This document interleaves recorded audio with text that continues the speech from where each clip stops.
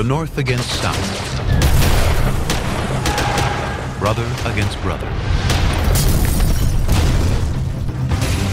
The Civil War is the bloodiest in American history. Victory will take far more than brute firepower on the battlefield. Technology, communications, logistics. It's what happens behind the front line that will ultimately decide this battle for America's future. We are pioneers and trailblazers. We fight for freedom. We transform our dreams into the truth. Our struggles will become a nation.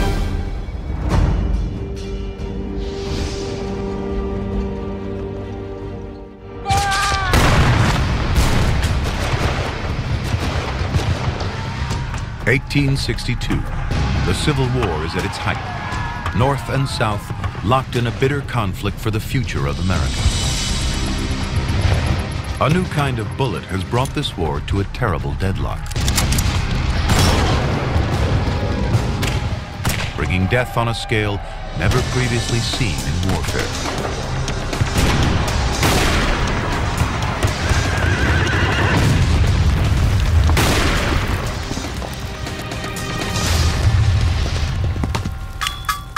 Here at a metalworks in Springfield, Illinois, molten lead is beginning its journey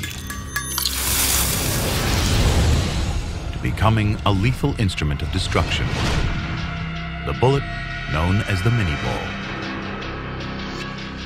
This crude piece of lead is the primary reason for the unprecedented levels of slaughter in this war. Invented in France, just an ounce in weight and half an inch across, one person can cast 3,000 Minié balls an hour. Each one of these simple bullets can rip through a man's body in a fraction of a second. The Minié ball is used by North and South alike. Demand for this killer bullet runs so high that an entire industry springs up supplying Minié balls to the front line.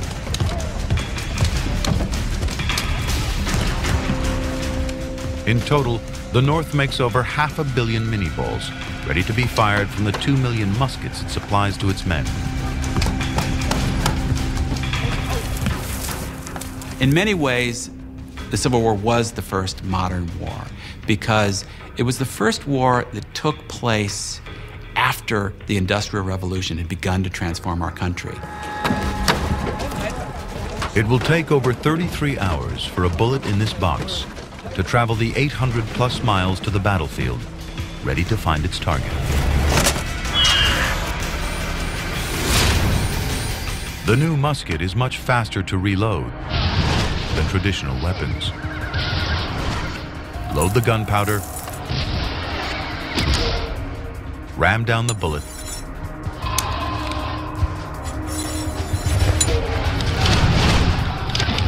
and it's ready to fire.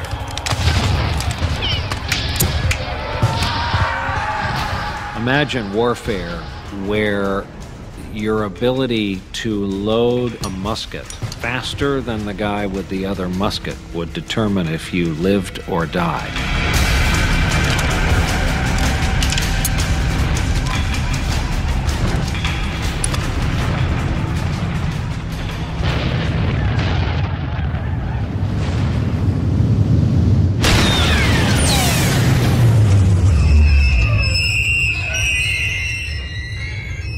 Grooves on the inside of the barrel, rifling, spin the ball toward its target.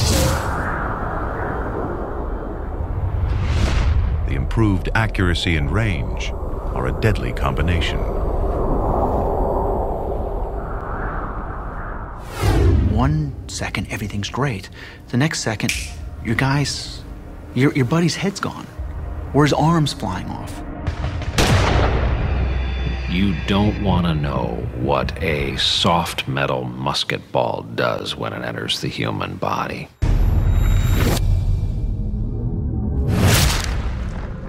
On impact, the bullet flattens out. Bone shatters and splinters.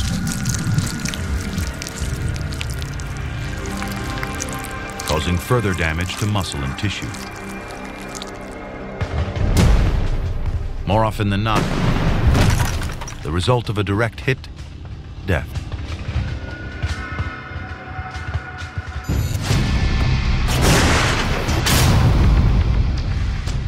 But for all the Minié ball's technological edge, the Army still uses traditional military tactics.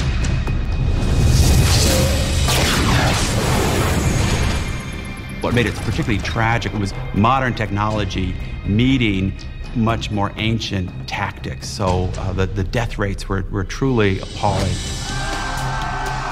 The troops still face one another openly in lines across the battlefield.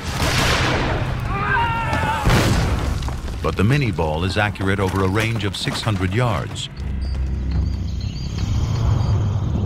easily spanning this distance. And it can be reloaded eight times faster than a traditional weapon.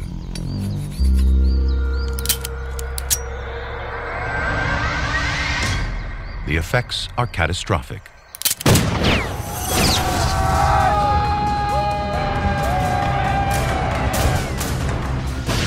The kill rate increases dramatically compared to previous wars. Across the battlefield, the results are carnage, blood and death a previously unseen scale. They killed each other in droves, in lines, and in piles. Soldier Alexander Hunter writes One lay on his face with his body almost in two parts. Another was shot just as he was taking aim. One eye was still open while the other was closed, and one arm extended in a position of holding his rifle, which lay beside him on the ground. The troops on both sides must live in the middle of this untold death and suffering. Horatio Chapman records the experience in his diary. The dead in some places were piled upon each other, and the groans and moans of the wounded were truly saddening to hear. Some were just alive and gasping, but unconscious. Others were mortally wounded and were conscious of the fact that they could not live long.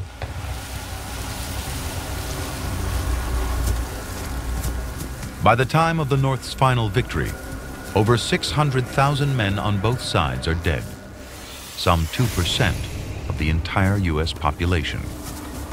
In current population terms, that's the equivalent of 6 million people.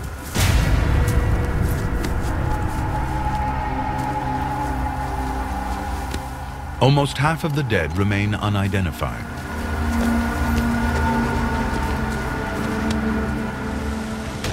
The fear of dying forgotten on the battlefield leads soldiers for the first time to begin pinning their names and units on their uniforms. These crude, early versions of the dog tag will make it possible to identify their bodies after they're killed.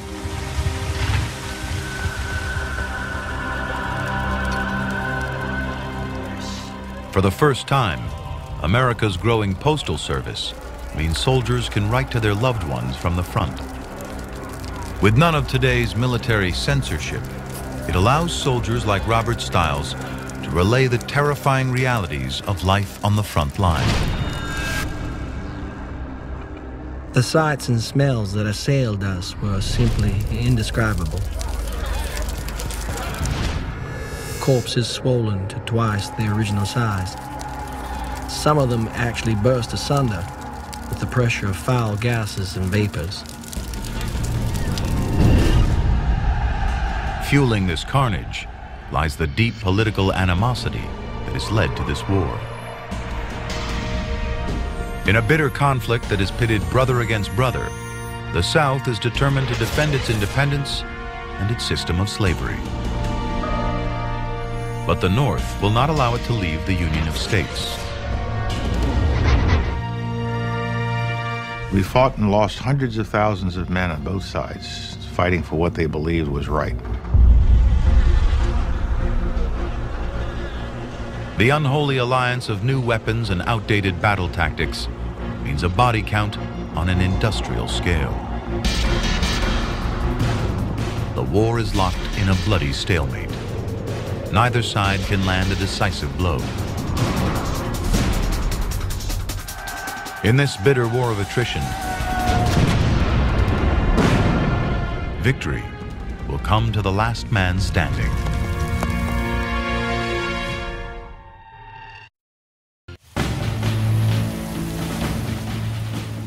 August 1862, over a year into the war. General Robert E. Lee's Confederate Army is readying to launch a wide-ranging assault against Union forces in Virginia. Highly motivated, these men are fighting on their home turf and are ready to die for Southern independence, its traditions, and its rural way of life. Its prosperity is built around a simple crop cotton. Known as white gold, the South accounts for two thirds of the world's supply of cotton. It brings extraordinary wealth to the southern states. But it is wealth built on the backs of slaves.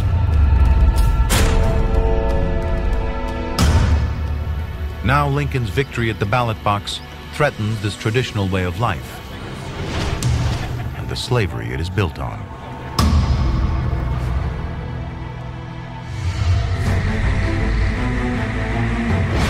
Rather than submit to Northern rule, the South decides to fight. They want a separate nation. General Robert E. Lee takes command at the head of the newly formed Army of Northern Virginia. Lee, a brilliant graduate of the elite West Point Academy, is already a veteran of the Mexican War.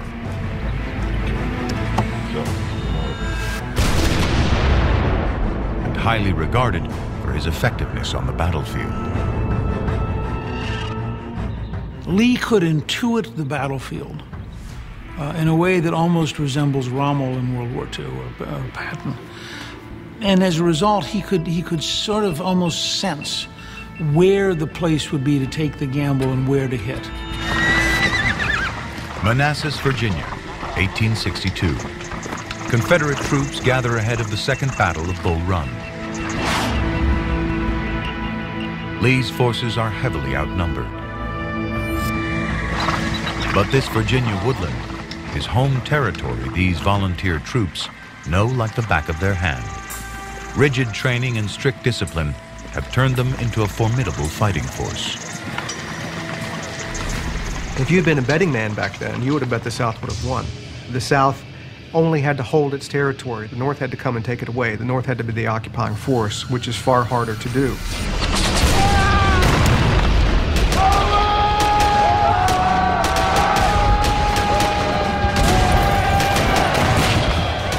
At Bull Run, Lee easily demonstrates his force's superiority.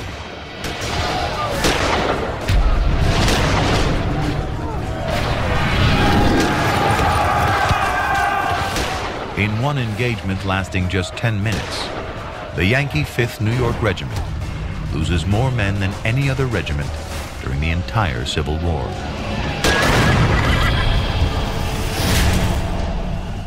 All told, Lee's men kill over 1,700 Union soldiers. Determination and local knowledge give the South their greatest victory in the war to date.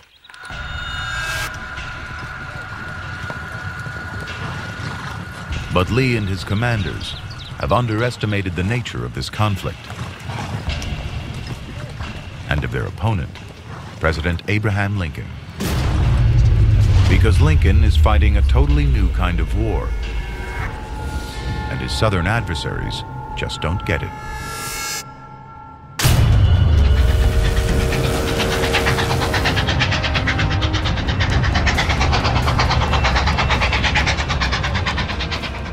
A packed train speeds on its way south, ready to replenish the Union Army with fresh troops and supplies. Lieutenant George Benedict writes home.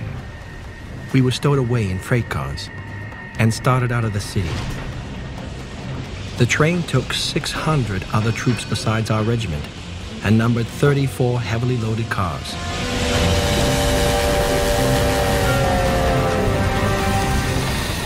The railroad, one of Lincoln's hidden weapons in this war.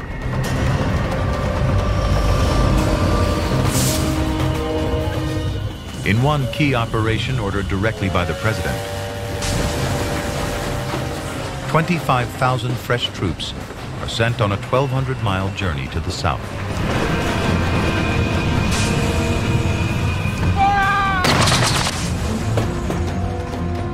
By road, it would take over two months. By rail, it will take these men just seven days.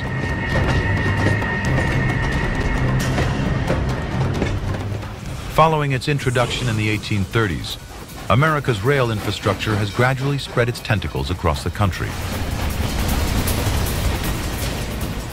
Lincoln realizes it can revolutionize the speed of troop deployments.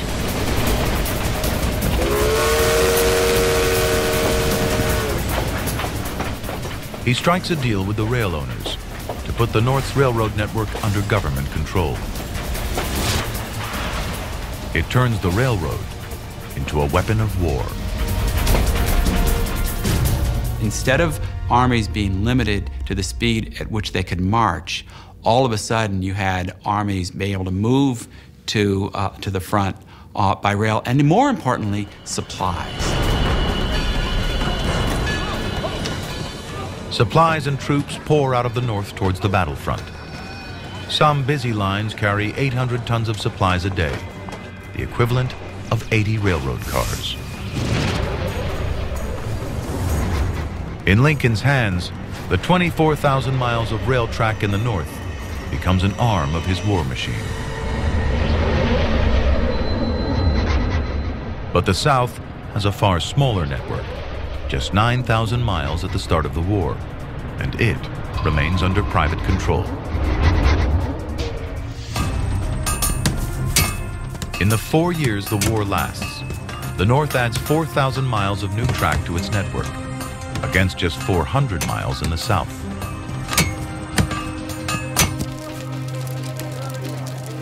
This inability to coordinate rail supplies will prove disastrous for the South even though they're just 30 miles from their capital in Richmond. In the winter of 1863, poor rail links means Southern troops in Virginia starve.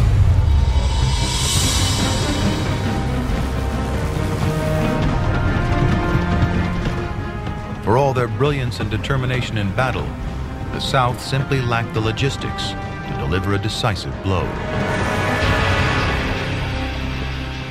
And it isn't simply rail. Lincoln realizes that victory depends on mobilizing the entire industrial might of the North behind the war effort. Production of clothing in the North doubles during the conflict. Pitchfork manufacturers start making swords, while the number of patents doubles in the course of the war. Manufacturing, technology, infrastructure, it will change the face of America. For the first time in history, industry is put behind the war effort. An approach to conflict that America will exploit in the First and Second World Wars.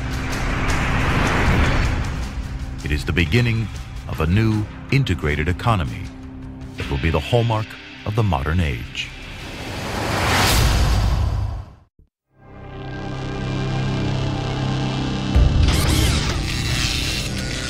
In a building just across the road from the White House is a small room that will become Lincoln's nerve center in this war. And at its heart, a simple device that will transform how this war is fought and won. The telegraph.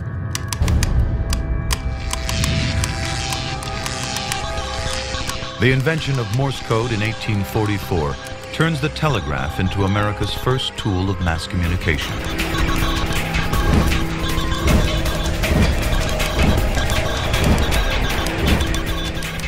quickly encoded, the basic system of dots and dashes sealed for brief messages. Like Twitter today, it needs just seconds to send them and transcribe them. Where messengers previously took days, on horseback, over hundreds of miles, and across every kind of terrain. Now, the country's 50,000 mile telegraph network means communication is almost instantaneous. As telegraph poles snake out alongside the railroad lines, this vast country begins to shrink.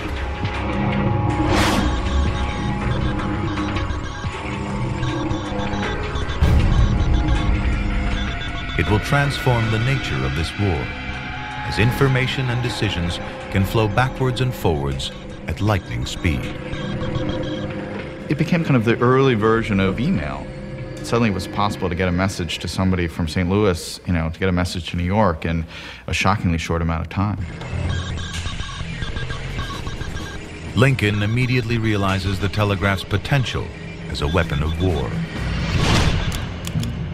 He insists on the installation of telegraph lines directly into the War Department.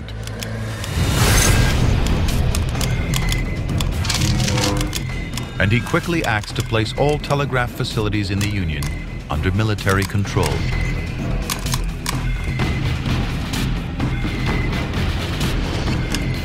The telegraph office becomes the central hub of Lincoln's war operation, his command and control center.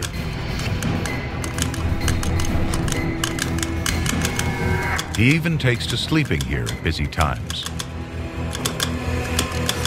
The telegraph office manager, David Homer Bates, describes how Lincoln obsesses over every scrap of news from the front, sometimes reading dispatches word by word as they are deciphered.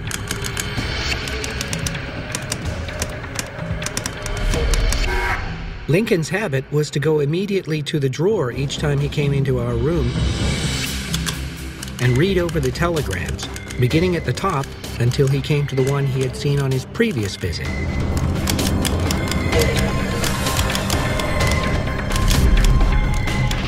The North's telegraph network spreads its tentacles far and wide, sucking information back to Lincoln and his commanders in Washington. It gives him a vast strategic overview, providing him an unrivaled insight into his commander's tactical thinking. Lincoln himself was able to stay on top of literally hour by hour developments in, in the course of individual battles. That had never happened before. To the irritation of his generals, it even allows him to issue his own direct orders, telling them how to fight. In one campaign, with General Lee's forces threatening Washington, Lincoln responds by telegraphing direct orders to his generals.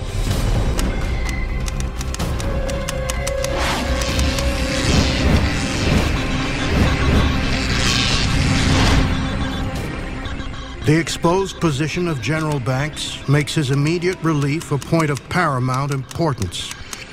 You are therefore directed by the President to move against Jackson at Harrisonburg. This movement must be made immediately. In the course of the war, Lincoln sends almost a thousand telegrams from this small office.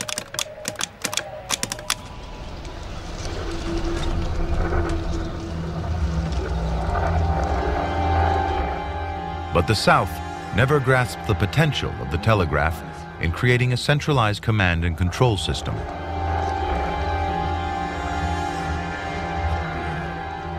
It means Southern generals like Lee must plan their battles without that kind of strategic overview.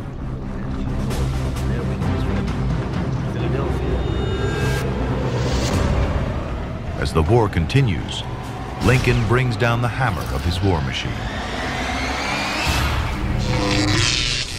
Industry, lines of communication and supplies, manpower and firepower are all marshaled to deliver blow after blow to the Confederate Army. But the South bolstered by the belief in the rightness of its cause, doggedly refuses to give in. As a result, the death toll just keeps rising. At Antietam in 1862, 6,000 are killed. 17,000 wounded.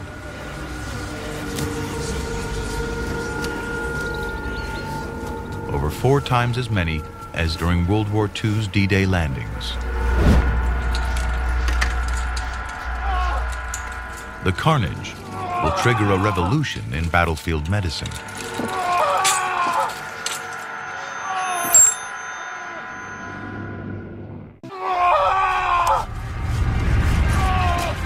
Three quarters of all operations conducted by Army surgeons during the Civil War are amputations. Letters from surgeon William Watson record what these battlefield ERs were like. Day before yesterday, I performed 14 amputations without leaving the table. I do not exaggerate when I say I have performed, at the least calculation, 50 amputations. There are so many severely wounded through the joints. There are so many operations yet to be performed. Surgeon Theodore Diamond describes the hideous wounds left by weapons like the Minié ball. The shattering, splintering, and splitting of a long bone by the impact of the Minié ball is both remarkable and frightening. An experienced surgeon can hack off a limb in just 10 minutes. Ether and chloroform are used as anesthetics. If a bullet doesn't kill you, then infection can. Gangrene is the greatest killer. Deprived of oxygen, wounds become an ideal breeding ground for Clostridium, a bacteria that releases a poisonous toxin, destroying tissue. Death can follow quickly. Approximately 60,000 amputations are performed during the Civil War, more than in any other war America has fought in. Twice as many soldiers die from infected wounds and disease as on the battlefield.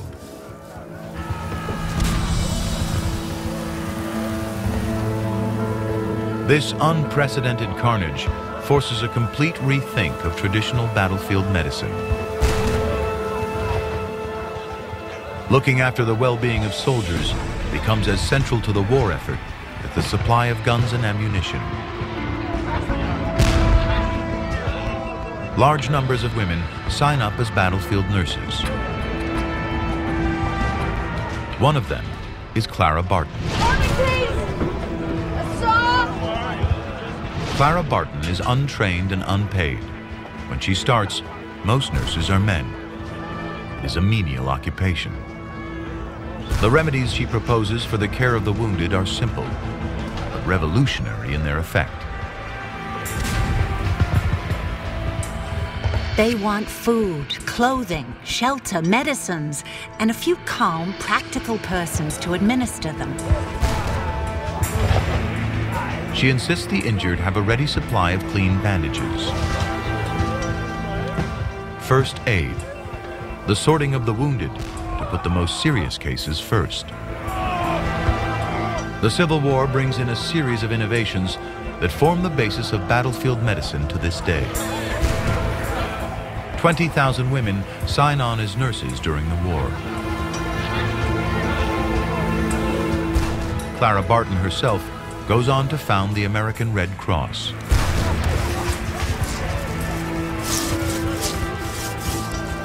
Standards of hygiene begin to dramatically improve with the discovery of bromine. This caustic chemical is effective against the bacteria that cause gangrene. As a result, nearly three quarters of amputees survive surgery, and gangrene becomes rare by the war's end.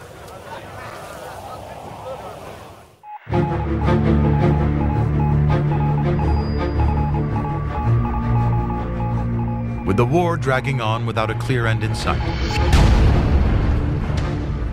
Lincoln is increasingly forced to fight on a very different front. the war for public opinion.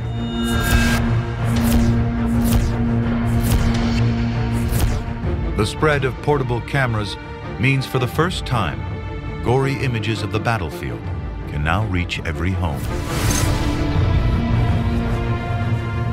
While these simple cameras rule out dramatic action scenes, they are ideal for capturing the gruesome aftermath of battle.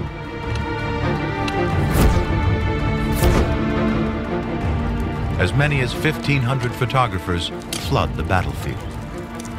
Their images are sold widely to members of the public for as little as 25 cents. Was war photography coming back from the Civil War that captured it in a way, made it real, and made people recognize the, the really extraordinary, unprecedented violence. America's growing newspaper mass media reproduces simple woodcuts of the images. More than 200 correspondents cover the war, filing over 100 million words of copy. This deluge of information about the war ensures the grim reality of this conflict is seared into the public consciousness. Never again will politicians be able to fight wars without public support. The war means a soldier is five times more likely to die than a civilian. Where families used to grieve for the dead at home, now men die on the battlefield. It forces a fundamental shift in the rituals surrounding death. Nat Bowditch dies on a battlefield in Virginia. Yet his family in Boston can still say goodbye to their son, killed 500 miles away.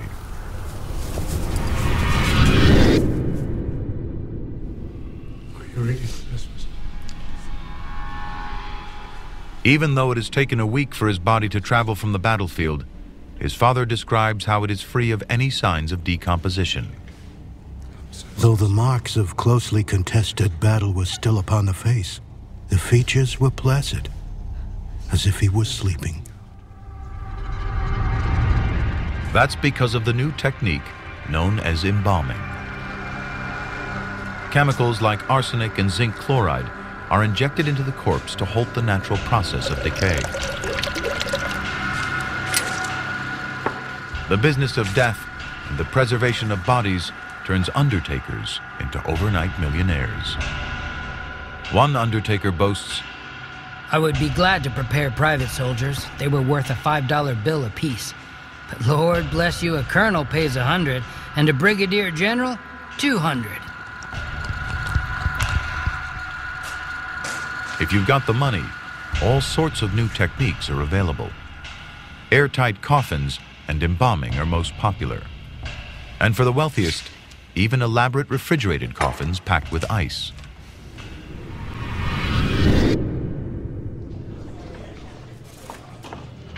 The war drags on.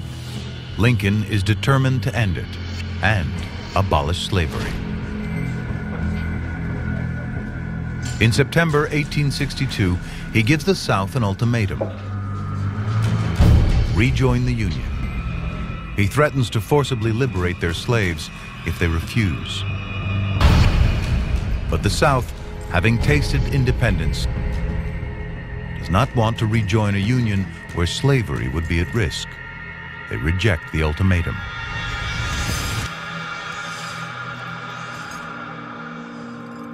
Lincoln is in no mood to negotiate. If the South won't free their slaves, he will do it himself. For white Southerners, it was a confirmation that their thoughts about Lincoln all along, that he was, in fact, somebody who was bent on destroying what they thought was the Southern way of life. In the North, in a sense, it gave people a different understanding of what the war was about. On January 1st, 1863, Lincoln issues a proclamation abolishing slavery in the rebellious southern states. Thanks to the telegraph, the news quickly spreads. On the first day of January in the year of our Lord, 1860. Lincoln had totally grown to where he said that not only should blacks not be slaves, they should be treated as equal citizens with full enfranchisement, right to vote, right to participate. All persons held as slaves shall be then, henceforth, and forever free.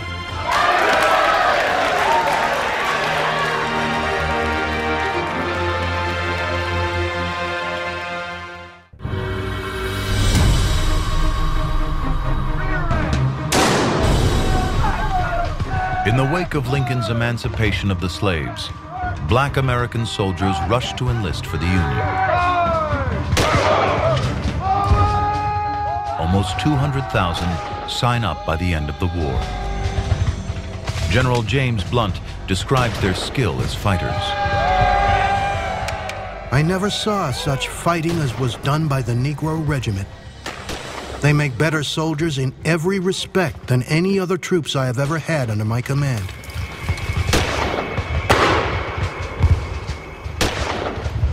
The Emancipation Proclamation changes the dynamics of the war. The Union Army becomes a force for liberation, now fighting to end slavery. They understood that saving the Union would give them some sense of freedom, some sense of dignity. It was the dignity that I'm a soldier. I'm not just a servant, I'm a soldier. I have a uniform, I have stripes. I'm somebody. Lincoln follows the proclamation with his masterstroke. His address in 1863, dedicating America's first national cemetery for soldiers at Gettysburg, is perhaps the single most famous piece of political rhetoric in history. Four score and seven years ago, our fathers brought forth upon this nation, conceived in liberty and dedicated to the proposition that all men are created equal. That we here highly resolve that these dead shall not have died in vain, that this nation under God shall have a new birth of freedom, and that government of the people, by the people, and for the people shall not perish from this earth.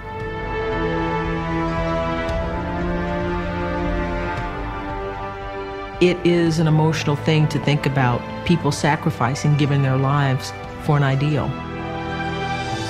And it's Lincoln at his absolute best um, the genius, the simplicity that conveys a great amount. It's spiritual in a way. Uh, it's a hymn to America, and it's the hymn to the possibilities and the great sacrifices of this country. But in 1864, the war remains deadlocked.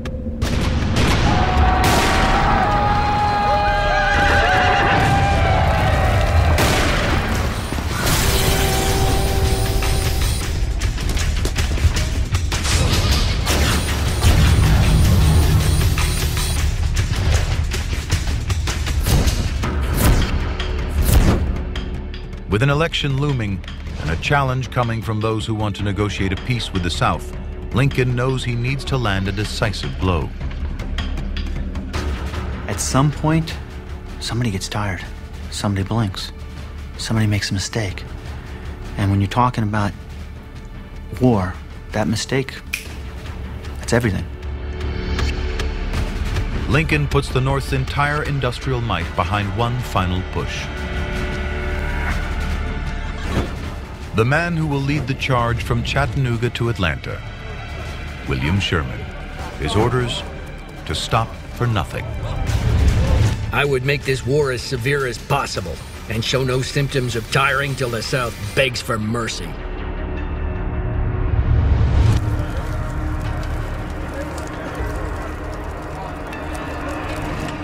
Advancing under the cover of night, Sherman's march is sustained by one of the greatest logistical operations yet seen in this conflict.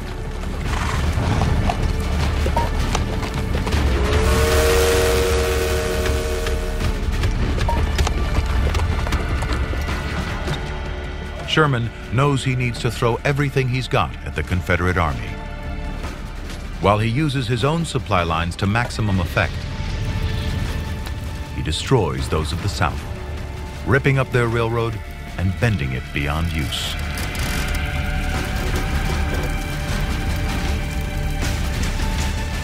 In one day, the North supply lines replaced 200,000 bullets.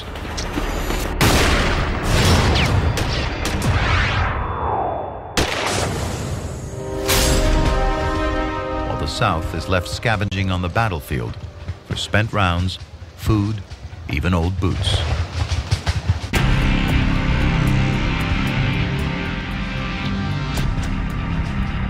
Sherman calls it total war, a scorched earth approach that becomes the trademark of modern warfare. Finally, with Atlanta under siege, Confederate forces set fire to their own munition stores before abandoning their city to the Union soldiers.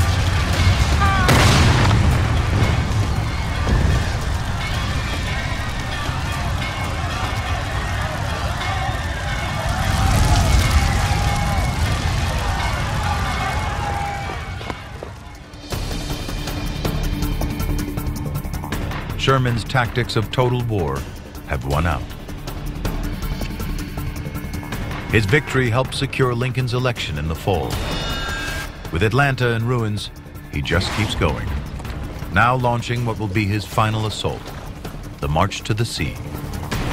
In the 19th century equivalent of shock and awe, 62,000 Union soldiers wreak a 60-mile wide path of destruction across Georgia from Atlanta to the coast at Savannah. Supply lines are cut, villages are sacked, and crops torched. Anything of military value is destroyed.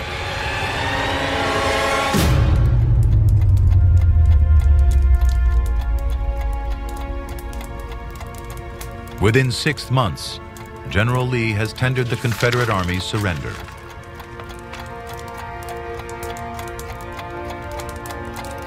The rebellion is over. The South will have to submit to the Union and bring an end to slavery. By the act of winning, the North both validated freedom and validated the industrial model. And so you have an American confidence, an American sense of achievement, uh, an American willingness to go out around the world. For all the Confederacy's commitment, its inferior logistical infrastructure has been no match for the North's unstoppable war machine. Its industrial heartland, its growing network of railroads, its telegraph network, all bring victory to the North.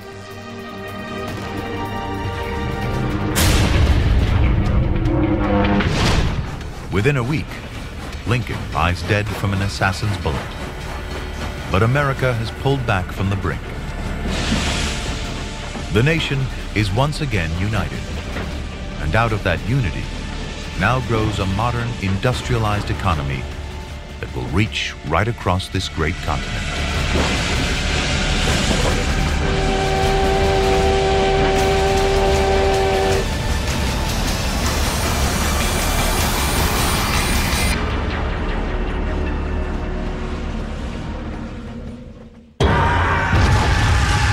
The Civil War is over. Survivors head out across the frontier. A vast wilderness separates east and west. Veterans become railwaymen, cowboys, settlers. Conquering nature, they'll unite the continent. Their mission, to tame the Wild West.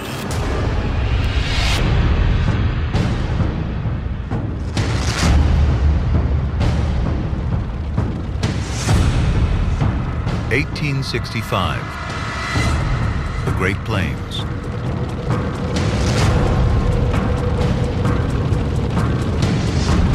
Where 30 million buffalo roam.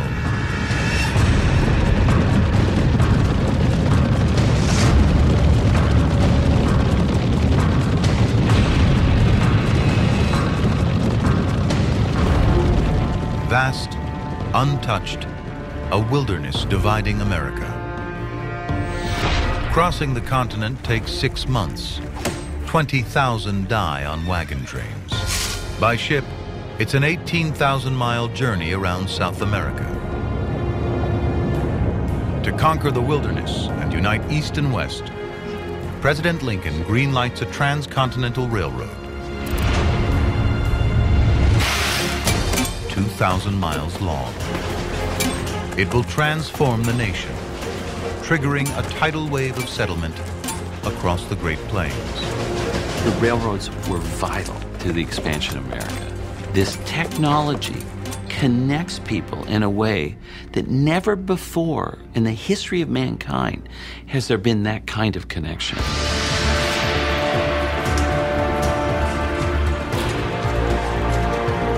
America's ancient wilderness meets modern American steel and muscle. An army of hammer-wielding men. Irish immigrants. Civil War vets. Railwaymen. Their mission, to tame nature itself. The biggest obstacle heading east from California, a 12,000 foot wall of granite, the Sierra Nevada. Where the Pacific and North American plates collide, billions of tons of ancient rock rise up, crumpling like tin foil. Over the last four million years, the Sierra Nevada mountains climb more than two miles high. They're still growing, 13 feet in a thousand years. One day, they could rival the Himalayas.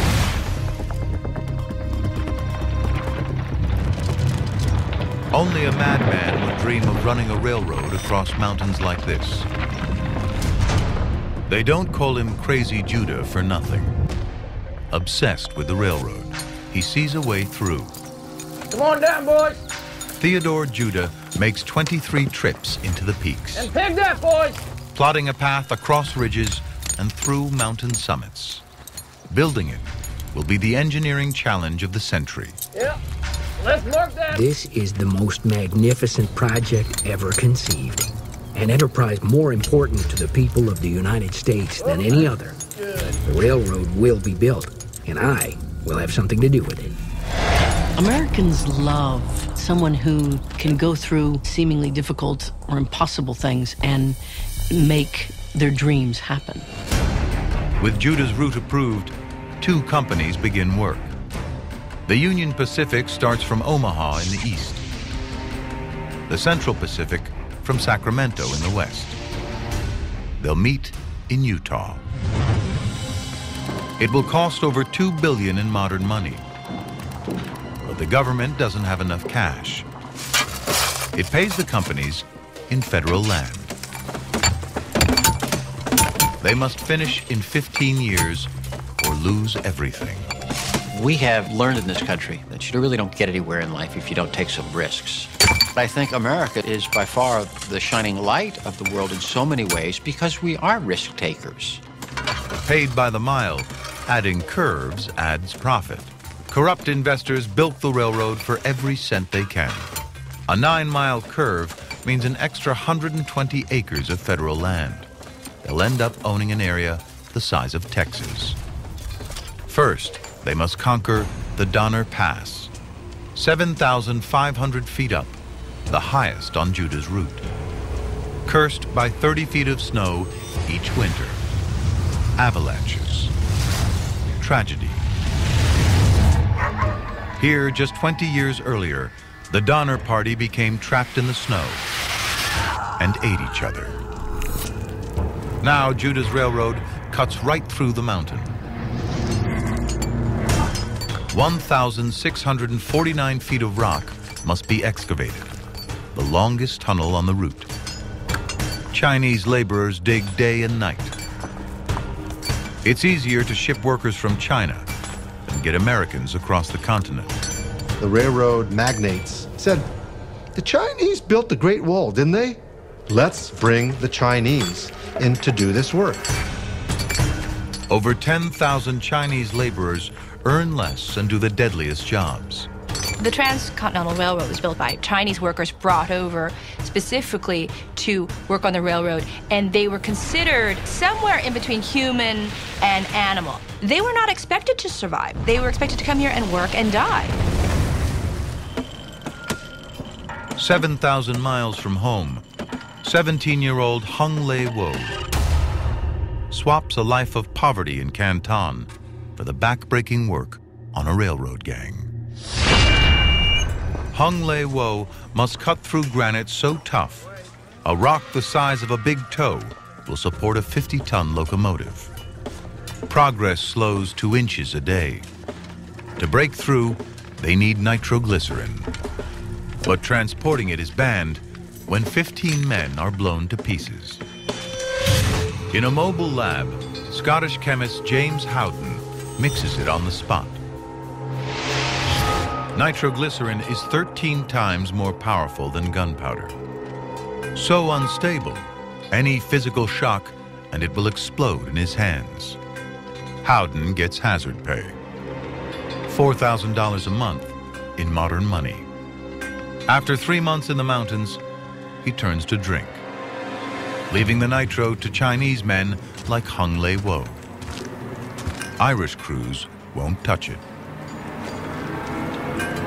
Detonation creates temperatures of 9,000 degrees, as hot as the surface of the sun. So, so.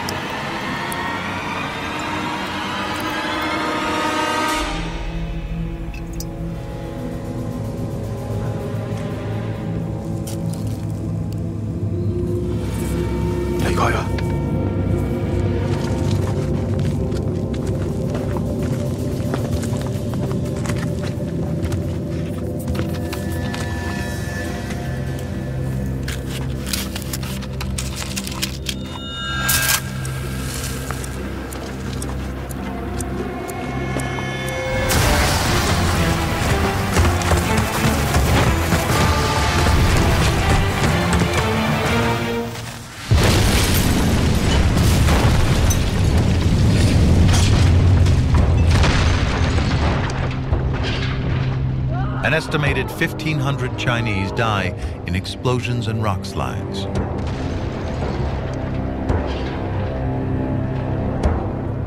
Hung Lei Wo survives. His son will be the first Chinese American to graduate in engineering from the University of California at Berkeley.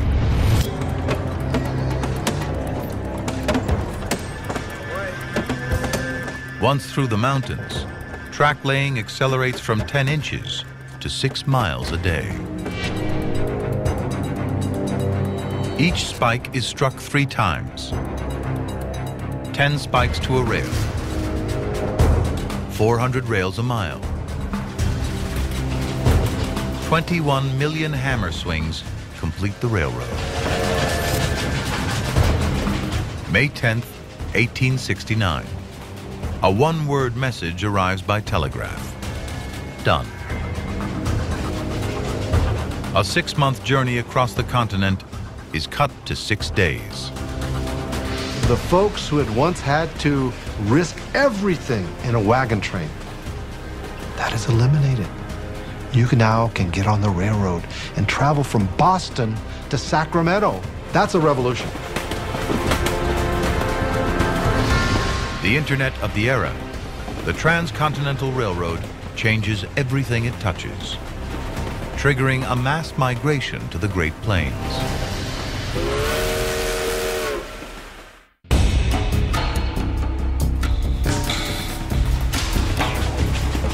The Great Plains, conquered by steel and steam.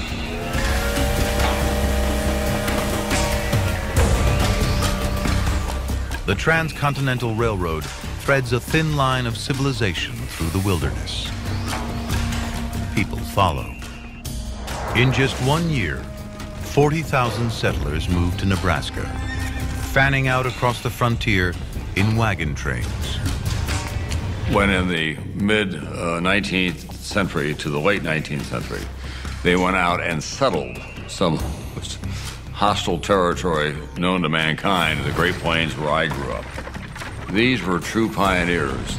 The government accelerates the process with the greatest land giveaway in history. Anyone with a $10 filing fee can claim free land. A quarter are single women and ex-slaves. When you see the desperate scramble in these rickety wagon trains, you realize that the promise of America was land. These are people who never in a million years would be able to own land in Europe. Eventually, 10% of the United States will be given away under the Homestead Act. I'm not going back to Indiana to rent until I bust entirely and have to walk back. Uriah Oblinger, Civil War vet, claims his 160 acres in Nebraska. There's a catch. 110 degree summers spark prairie fires. Trees can't survive the drought and flames. There's so little rain, nothing grows here but grass. Without lumber to build houses, the new inhabitants live in mud huts, built of sod, cut from the plains. Uriah dismantles his wagon to make doors and windows. They often had insects. They invited snakes. It was, well, pretty much like living in a burrow in the ground. I think the pioneers did have it hard. They conserved, they were frugal. The one dress lasted a long, long time. For Uriah's wife, Mattie, it's a price worth paying. I expect you think we live miserable because we are in a sod house. But I tell you in solid earnest, I never enjoyed myself better. Every lick we strike is for ourselves, and not half for someone else. The devout Oblingers face daily tests of their faith. With no mountains to stop the wind, the Great Plains are a breeding ground for massive thunderstorms. The most objection I have to the weather here is the wind. There's a great deal of it during winter and spring, and being nothing to break it, one feels it more. Don't go too far, honey. The Oblingers live in Tornado Alley. More twisters hit this region than anywhere else on Earth.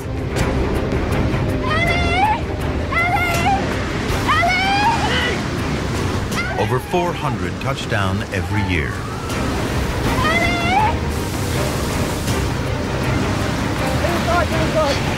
Tell the folks they never seen a storm in Indiana. Only playthings.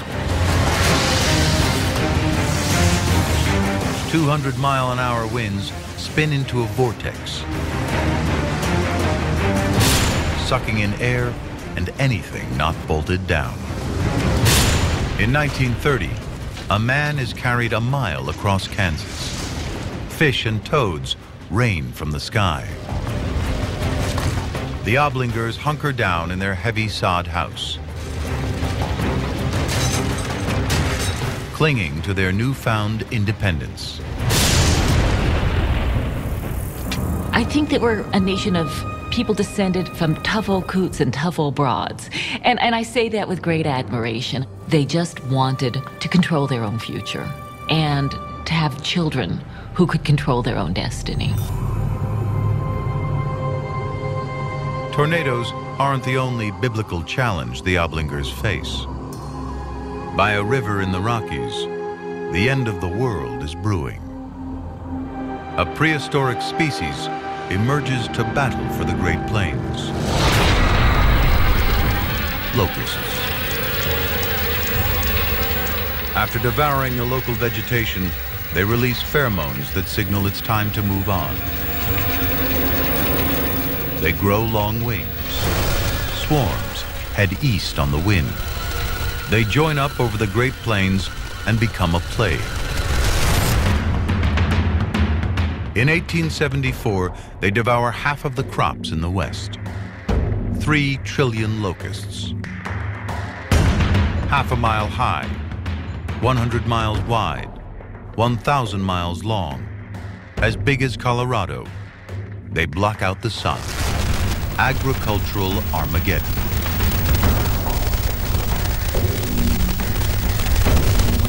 To men like Uriah, the locusts are the wrath of God. By 1892, half the population of western Nebraska goes east.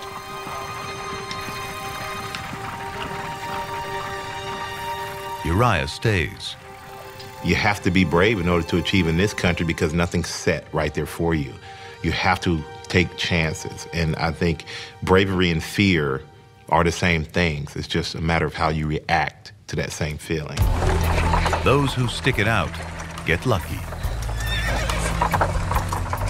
Within 30 years, the locust is extinct.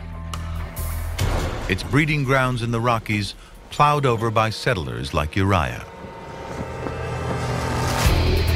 In 10 years, the Great Plains become the breadbasket of the country. For the first time, America can feed itself. Today, 50 million tons of wheat is farmed each year. But trees are still scarce, and to build towns, settlers need wood.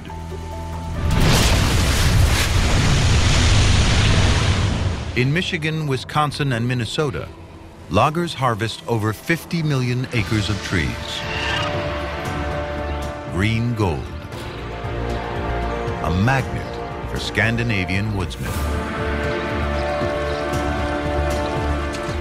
Between 1825 and 1925, a third of Norway's entire population comes to America, including Nils Haugen. The pay was $3 a day. You had to have a good pair of driving boots, well caulked, to be able to keep on top of the logs. There's millions of dollars at stake. If the flow of logs stops, towns can't be built. Logjam, Riverman's ruin. In 1886, pine to build 20,000 homes gets stuck on the St. Croix River. 150 million feet of wood. Remove the right log, and the rest will explode downstream. Rivermen die, clearing obstructions like this.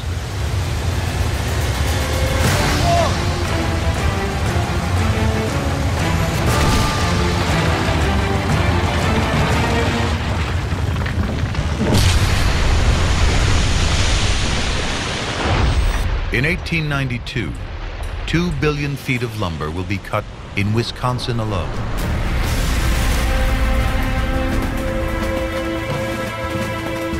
The railroad feeds lumber into the West's construction boom. Towns are built so fast, there's no time to name streets.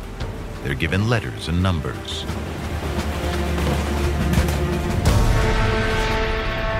The Great Plains is also home to the most numerous species of large wild mammal on Earth. 30 million buffalo. Herds up to 25 miles long race to summer breeding grounds. On a collision course with the modern world.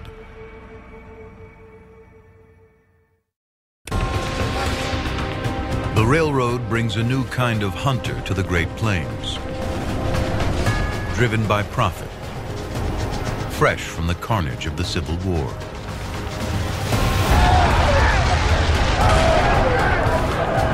Two million rifles are in circulation. Over a million veterans trained to use them have a new target in their sights. Frank Mayer, Civil War vet, buffalo hunter. I had nothing to look forward to in civilization. I was crazy about guns. Mayer tracks 2,000 pound buffalo, easily capable of crushing a man. He picks them off from 200 yards. If you could kill them. What they brought was yours. They were walking gold pieces. Hunters harvest the buffalo for its hide. In 1872, they ship over 1 million out of Kansas alone. worth $3 apiece back east. On a good day, Mayer earns more than the president.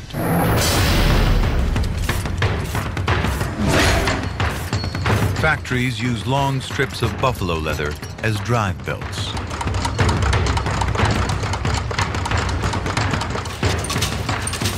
Small pieces become coats and shoes. To meet demand, hunters kill 8,000 buffalo a day for their hides alone. For Americans, this is progress because this is a natural resource. From the Indian perspective, they couldn't understand what the white people were doing. But of course, they knew that the decimation of those buffalo herds would change their lives forever. The Plains Indians depend on the buffalo and worship them. The buffalo were our strength, from whence we came, and at whose breast we suck as babies all our lives. Black Elk is six years old when the railroad arrives. Unlike the white hunters, his people waste none of their kill. Sinews become bowstrings. Bones are cups and spoons. Skin is clothing, teepees, and coffins.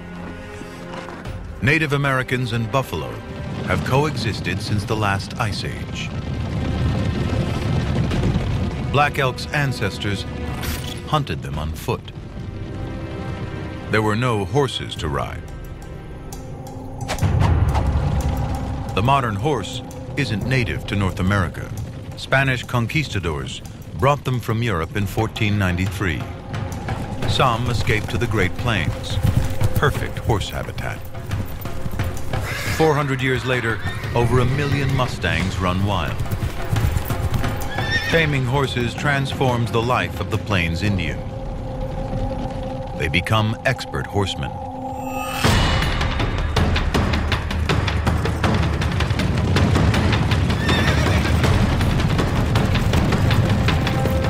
The battle cry went up, Hokahe, which means to charge, and the hunters went in for the kill.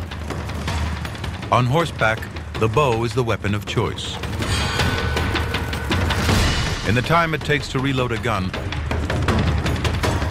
a warrior can ride 300 yards and fire 20 arrows. Buffalo can run at 35 miles an hour. Hunts cover hundreds of miles over many days. It can take 15 arrows to kill a buffalo. White hunters like Frank Mayer use a single cartridge. He aims for the lungs. A clean kill drops a buffalo without disturbing the herd.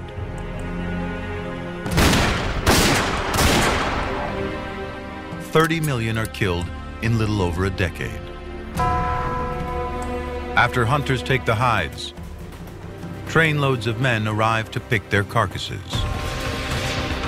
They make buttons from bones and grind down skeletons for fertilizer and porcelain.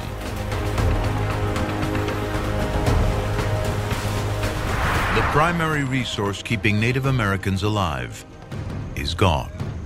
Facing starvation, they're forced onto reservations. My great great grandmother, Grandma Big Eagle, was alive when when buffalo hunting ended. They weren't just saying goodbye to a kind of a food stuff. They were saying goodbye to a way of being in the world. And I think for them to look back on that um, was just unspeakably sad.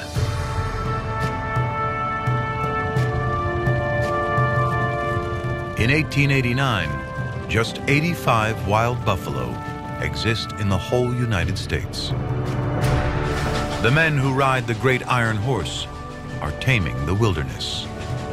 The railroad will bring another modern American icon to the Great Plains.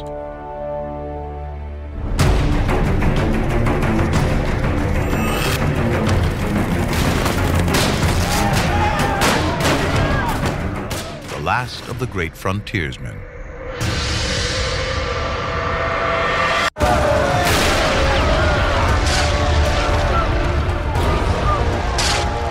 Eighteen sixty-five. The Civil War leaves cities on the eastern seaboard stripped of resources.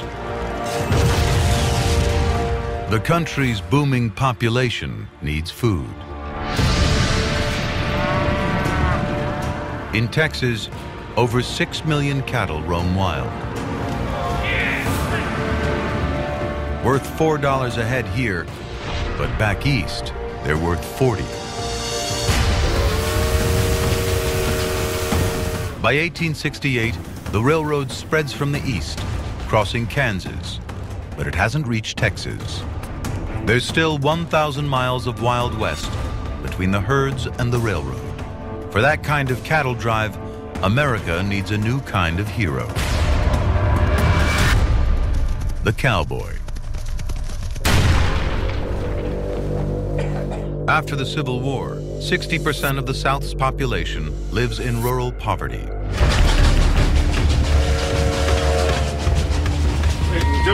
In search of work, a new kind of adventurer heads west to cattle towns like Abilene, Wichita, and Dodge City. One farmhand heading to Texas is Teddy Blue Abbott. 23-year-old Teddy Blue is the son of a Nebraska homesteader. My father wanted to tie me down and make a farmer out of me. Never. I ran away from home to become a cowboy. The cowboy mentality, it's a spirit of individualism. I have a communion with the land, with my horse. It symbolizes a resistance to authority. Teddy Blue is one of 35,000 cowboys who will drive cattle to the railroad in Kansas.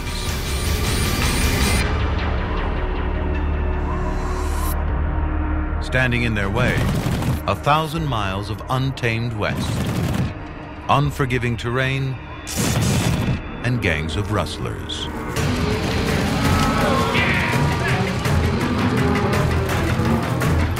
Only a dollar a day, cowboys must be skilled horsemen and cattle wranglers.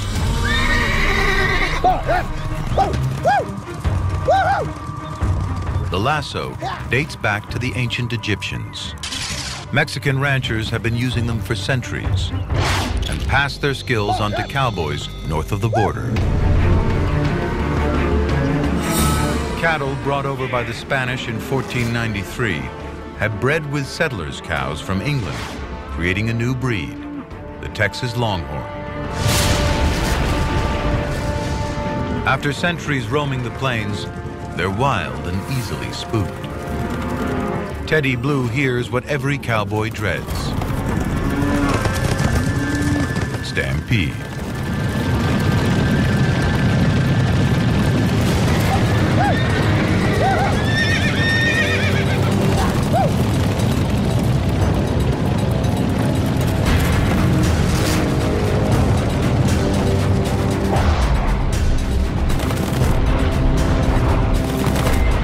Four cattle drives, Teddy Blue buries three pals. A tough job for tough men.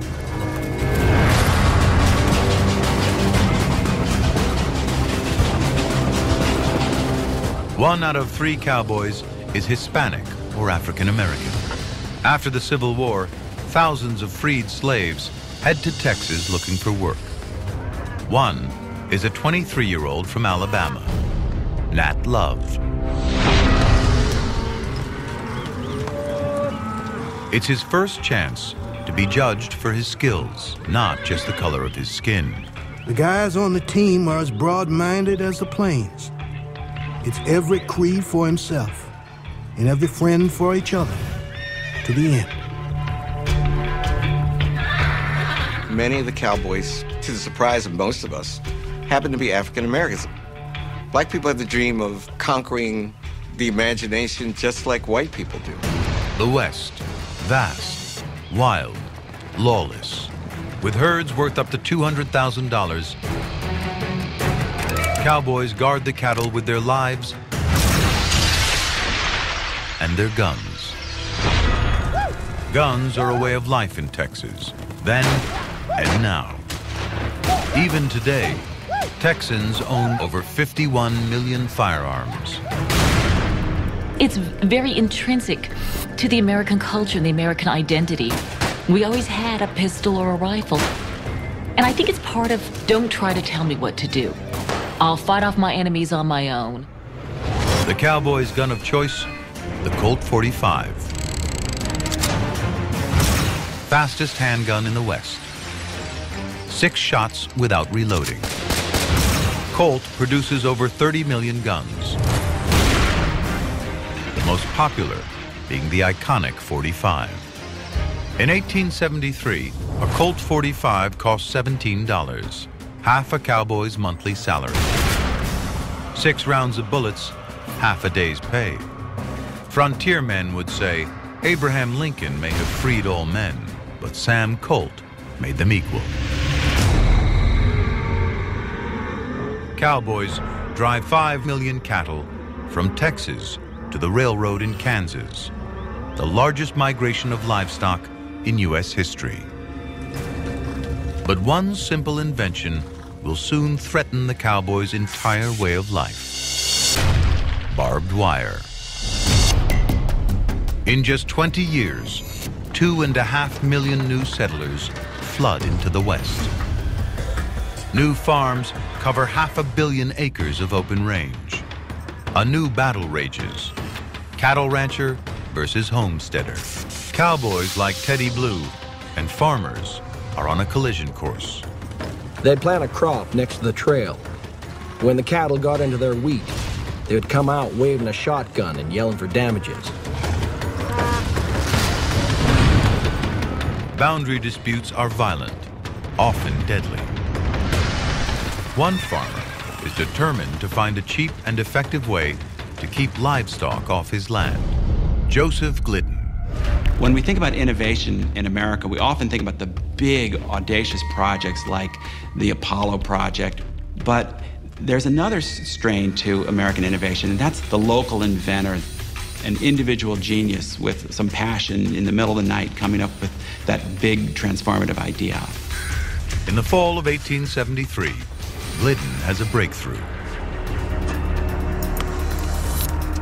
Using a coffee grinder, he crudely fashions some steel barbs.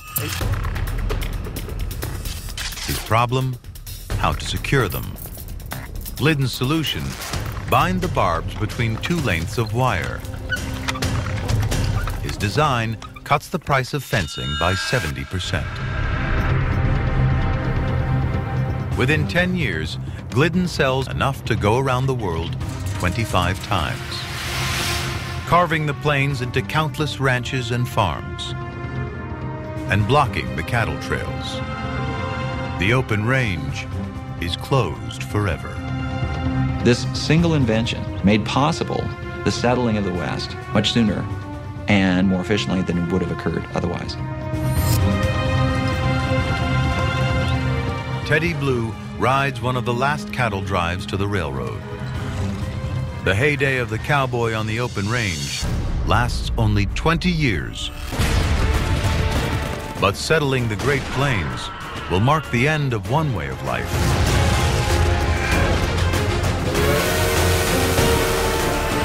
And the birth of another.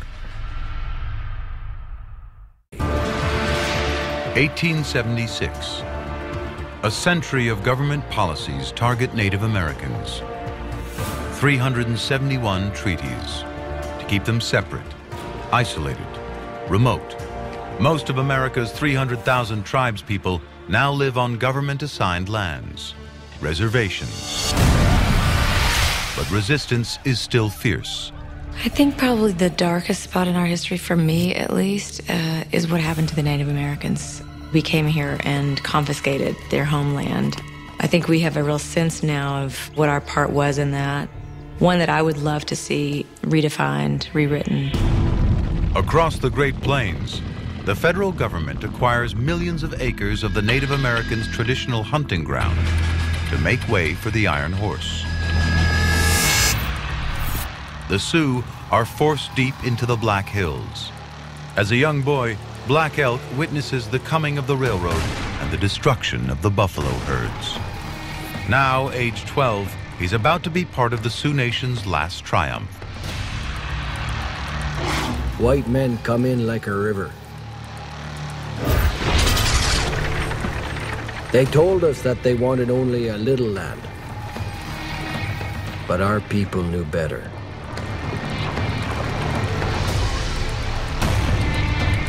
Gold is heard in the Black Hills. 100,000 prospectors rush in to seek their fortune. The federal government wants to clear the area. On a reconnaissance mission with the 7th Cavalry, Lieutenant Colonel George Custer stumbles across the Sioux camp near the Little Bighorn River. Custer makes a fateful decision. With 700 soldiers, Custer charges a camp with 7,000 Native Americans.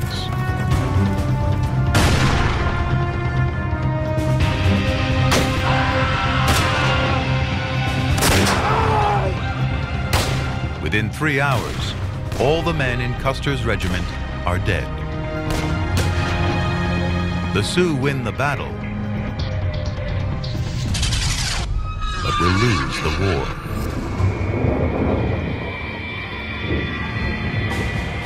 Response, U.S. soldiers forced 3,000 Sioux warriors onto reservations.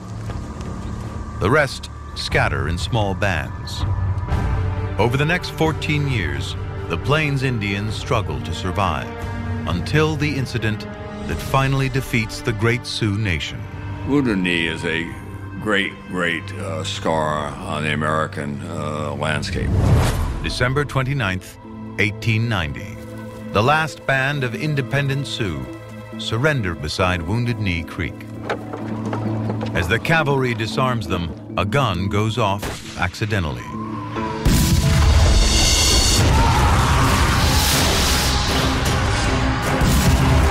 It triggers a massacre. Within minutes, over 200 Sioux warriors, women, and children are dead.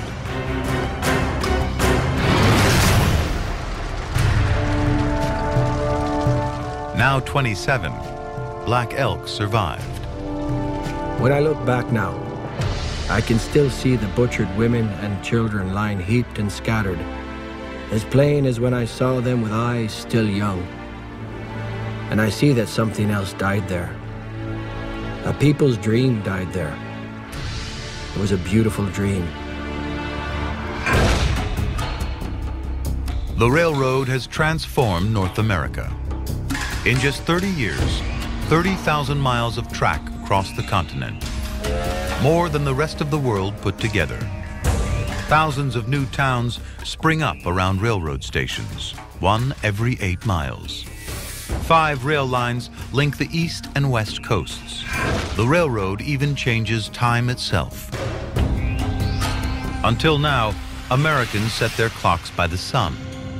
8,000 different times along 500 rail lines. Scheduling trains becomes impossible. On November 18, 1883, the continental U.S. is reduced to just four time zones. Standard Time is born. The railroad is now the largest employer in America, with nearly a million workers. One is a 23-year-old station agent from rural Minnesota, Richard Sears. With the U.S. adjusting to new railroad times, Sears turns entrepreneur and buys a batch of pocket watches. He offers them to other station agents and waits. Bingo. An order comes through, followed by another, and then another. Within six months, Sears sells all his watches, 2,500, earning 10 times his railroad salary. Realizing he can use the railroad for sales and distribution, Sears jumps on the opportunity with an idea that will transform the nation, the mail order catalog. I think Americans are naturally entrepreneurial. If you worked hard and if you had good ideas and you were willing to make short term sacrifices, you could succeed in this country. Next one, this is number one. Ten years after selling his first watch, Sears publishes a 700 page catalog. Now based in Chicago, he processes over 35,000 orders a day, delivering refrigerators, pianos, in one year, over 100,000 sewing machines. Using the railroad, Sears can sell virtually anything, anywhere in the country. What really transformed this country wasn't just the westward migration and the development of cities in the east, but the ability to move products across great distances. Linking together what had previously been very disparate little settlements that had to be largely self sufficient. By the end of the 19th century, America has 200,000 miles of railroad track, linking the local markets and creating a national economy. Over the next 40 years, the amount of freight carried by rail shoots from 55 to nearly 700 million tons. Resources from the Midwest feed the country's growing industries in the East.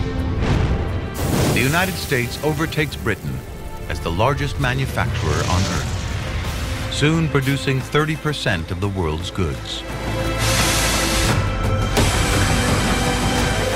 The railroads laid the basis for the creation of the single largest market in world economy.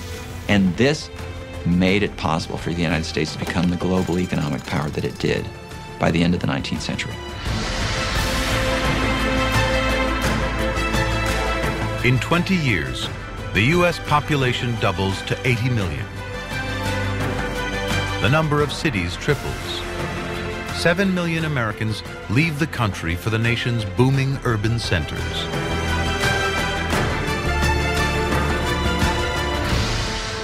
Where Buffalo once roamed, now rises the modern world.